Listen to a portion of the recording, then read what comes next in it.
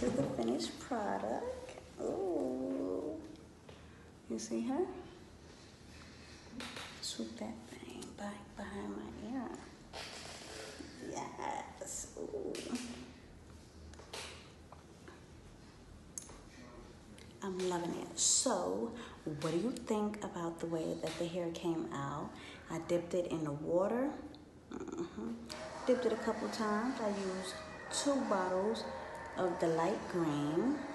And I'm just so happy. I'm so happy. I love it. Yes, I'm so ready for Halloween and every day after that. Thank you for watching.